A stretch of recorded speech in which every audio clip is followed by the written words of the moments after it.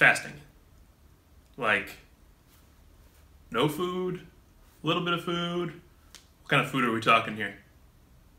Like, no food. Nothing.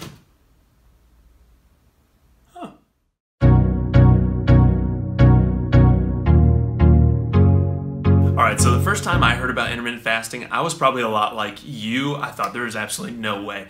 Going without food, not getting your body nutrients, not eating every two hours is good for your body. I mean, that's what everybody says, right? You gotta keep your metabolism high, you gotta eat every two to three hours, and that's how your body maintains a healthy state.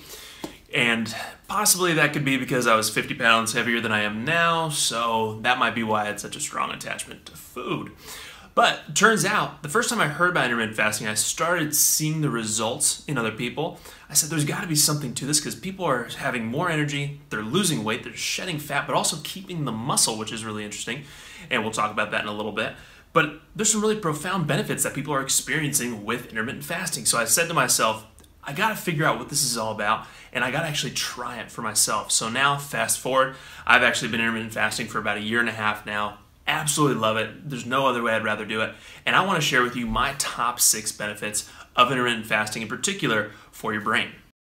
Now, when we're talking the benefits of intermittent fasting for your body, we have to lead off with one that I think is worth the cost of admission by itself, and that is reduced inflammation. Now, we know that inflammation is the root of a lot of chronic diseases that we're experiencing in our day and age, but as we've talked about on the podcast, many of our blog posts, and on previous videos, the brain is extremely sensitive to inflammation, and the more inflammation you have, the less brain function you can expect. Now, intermittent fasting has been shown far and away to be a major contributor to reducing overall inflammation through the body, and there's a couple of different ways that this happens, and one of the first ones is through something called autophagy. Now, autophagy is your body's ability to program a cell to actually destroy itself. Now, I know that doesn't sound like it should be a great thing, but it actually is. It's actually the body's way of cleansing itself out with the old and keep the new, healthy, fully functioning cells in place. So it really has a lot of anti-aging benefits with it and longevity benefits. And so this is one of the major contributors to that. Now, autophagy has been shown to actually take those old damaged cells. So if you can imagine, you got 7 trillion cells in your body. They have a specific lifespan, and maybe they make it all the way through, great. But most of the time, they get damaged or sick along the way, and that can create a lot of chronic inflammation throughout the body if they're allowed to stay there.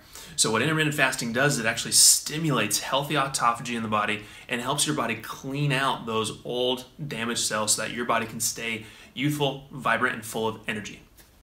Now, one of the other interesting ways that the body actually uses intermittent fasting to reduce inflammation is through ketones. Now, as you go through fasting, after 8 to 12 hours, your body will actually burn through all of its sugar stores. Now, typically that would be a bad thing, but now we've discovered that the body will actually turn from sugar as fuel to fat. So now it'll start breaking down fat in your body, which is what helps with a lot of the fat loss and weight loss. It'll actually break down that fat to produce an energy source called ketones. And ketones can actually be used by the brain, by the body for fuel, for energy. And they've actually been shown to be a much more efficient use of energy is actually ketones. But one of the interesting things that I've learned along this journey is actually that ketones, and specifically one called beta hydroxybutyrate, don't need to remember that one, but all you need to know is that beta hydroxybutyrate has actually been shown to suppress areas of the immune system that are linked to a lot of inflammatory diseases like diabetes and even Alzheimer's. Now, the last way that intermittent fasting helps with inflammation is it actually helps with insulin resistance. Now, insulin resistance is where you've just had this overabundance of glucose and insulin in your body that now your body just isn't using it as effectively. It almost gets callous to it. It's not using it as well as it should.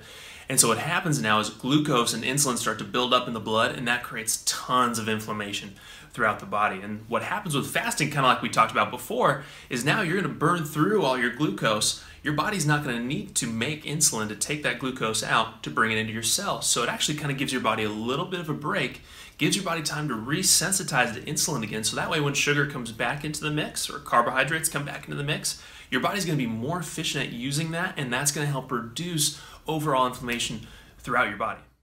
Now, my second favorite benefit of intermittent fasting for your brain is that it actually stimulates neurogenesis. Now, neurogenesis is your brain's ability to produce new brain cells. And considering you start off with in your life with probably a trillion brain cells, as you go through, there's something called cognitive decline, where your brain's continually losing these brain cells, continually pruning off these brain cells, and that's thought to be a reason of a lot of cognitive decline as people age. But neurogenesis is now being seen as this new way to actually provide anti aging benefits for your brain. So, if you can continually produce new brain cells, you're going to really help mitigate a lot of those effects of the cognitive decline. So, intermittent fasting has been shown, thanks to Dr. Mark Mattson at the University of Johns Hopkins, that it can actually stimulate neurogenesis in the brain. There was one interesting study done where they put mice on a 16 8 schedule, meaning they were fasting for 16 hours, eating within an 8 hour window, which is a typical intermittent fasting schedule. And they found significant production of new brain cells during that fasting schedule. Now, the third major benefit of intermittent fasting for your brain comes in the fact that intermittent fasting actually boosts the rate of BDNF being produced in the body. Now, BDNF stands for brain derived neurotrophic factor. And BDNF has actually been coined as miracle grow for your brain. So you can see how beneficial it is because what actually happens is BDNF will promote production of new brain cells. It'll actually preserve the production of new brain cells. So it actually helps provide a neuroprotective effect for the body. And third is it actually promotes creation of new synapses and new connections within the brain. So BDNF has actually been shown to play a major role in neuroplasticity, which is the brain's ability to change itself, which is a really important healthy function of the brain. And also BDNF has been shown to improve learning, improve memory, and boost mood. So really amazing benefits come from that BDNF being produced. And intermittent fasting, get this, intermittent fasting has been shown to boost BDNF production by as much as 50 to even 400%. So the fourth benefit of intermittent fasting for your brain is actually something that we've kind of touched on earlier, but it's the fact that your brain can now use fat instead of sugar for fuel. Now, as we talked about before, as you go through intermittent fasting, your body's going to burn through all of its glucose and sugar and start using fat for fuel, primarily in ketones. And ketones have been shown to be a more efficient energy source, which means actually when you burn or you break down a molecule of sugar, you're going to get roughly this amount of energy units per little block of carbohydrate or sugar. But what happens is when you use fat for fuel, you actually get more per block than you do with sugar. So it's a more efficient energy source. But also on top of that, fat or ketones has actually been shown to provide less free radical damage afterwards. So as your mitochondria start breaking down sugar or fat for fuel, Sugar has actually been shown to actually produce more inflammation, more free radicals from that production, whereas fat has been shown to be a cleaner source of energy, produces less inflammation, but also provides more energy. Who doesn't want that? So when we're talking about brain function, ketones is going to be where it's at, fat is going to be where it's at, because it's going to be a cleaner, more efficient use of energy for your brain. Now, thanks to intermittent fasting, your fifth benefit is going to be increasing the production of HGH in your body. Now, I know as soon as I said HGH or human growth hormone, you're probably thinking of this huge bodybuilder that's injecting synthetic HGH into his body to produce substantial muscle mass. But that's the problem is it's from the outside in, it's the synthetic. It's not going to provide the same benefits as it would if your body naturally produces it at healthy levels. So what's really interesting is that when you look at HGH that's produced naturally within the body, it actually provides substantial anti-aging longevity benefits. So this is the main reason why when people are intermittent fasting and they're not getting substantial amount of nutrients and protein as you would think they would, you would think they would lose muscle, but actually they don't because HGH helps preserve the muscle so that way you're only burning fat for fuel. I mean, how cool is that? But also, HGH is shown to help improve cognition. But on top of that, in one study, it showed to provide a neuroprotective effect during stress, which makes your brain more resilient to stress. It also helps boost neurogenesis.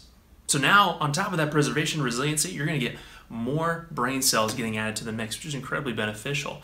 So HGH produced naturally through intermittent fasting can help you boost your brain power, but also at the same time provide anti-aging, longevity benefits, and make your body more resilient to stress for the lifetime. And my sixth and final benefit for you that I think is one of the most profound benefits of intermittent fasting is that it actually stimulates your brain to get more batteries. Now, what I mean by that is intermittent fasting stimulates what we call mitochondrial biogenesis. So basically, it creates more mitochondria for your cells. And if you haven't heard of mitochondria before, mitochondria are basically the battery sources within your cells. So what happens is by intermittent fasting, you're going to increase the amount of mitochondria or batteries that you have within your cells, which means you're going to get more brain power. It's as simple as that. So intermittent fasting can naturally boost your brain power in a way that's very substantial. And many people notice, especially during that fasting state where you're then using ketones, substantial cognitive benefits thanks to intermittent fasting.